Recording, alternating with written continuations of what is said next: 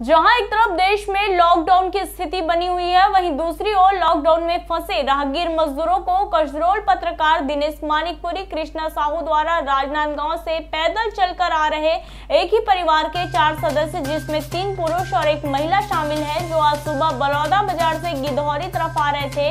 उनसे पूछताछ की गई तो राहगीर ने बताया की हम चार लोग लगभग आठ दिनों से लगातार पैदल चलकर घर जांजगीर चापा जा रहे हैं। राजनांदगांव के ईट भट्टे में काम करने लगभग छह माह पूर्व गए थे, जहाँ कुछ दिन काम अच्छे से चला, लेकिन लॉकडाउन के दौरान वहीं झुग्गी झोपड़ियों में कमाए हुए पैसों से कुछ दिन गुजर बसर किया। उसके बाद हमारे पास रुपए खत्म हो गए, जिसके बाद हमने ईट भट्टे के ठेकेदार से राशन खर्च के लिए पैसे मांगे। तो ठेकेदार सरदार ने कहा कि जब तक काम कर रहे थे, तब तक का पैसा दे दिया गया है और आपको अपने परिवार चलाने के लिए मेरे द्वारा पैसा नहीं दिया जाएगा, चाहे आप कुछ भी करो।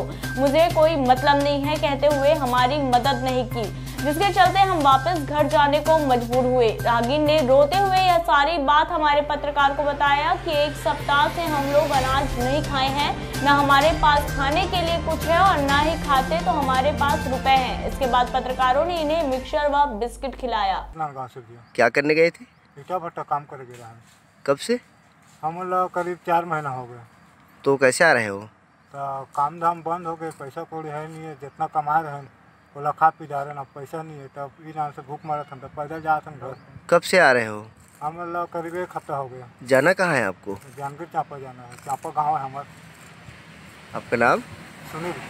तो अभी के लिए बस इतना ही। तब तक के लिए हमें दीजिए इजाज़त और इसी प्रकार की लेटेस्ट और रोचक खबरों से जुड़े रहने के लिए देखते रहिए I D P twenty four news और हाँ यूट्यूब में हमारे चैनल को लाइक शेयर सब्सक्राइब करना ना भूलें और साथ ही साथ बेल आइकन दबाना ना भूलें।